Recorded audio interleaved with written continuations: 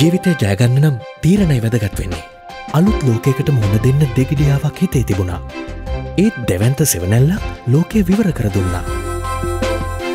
පැහැදිලි මගක් එක්ක ජීවිතයට හයියක් ලැබුණා. අලුත් අලුත් හීන එකතු වුණා.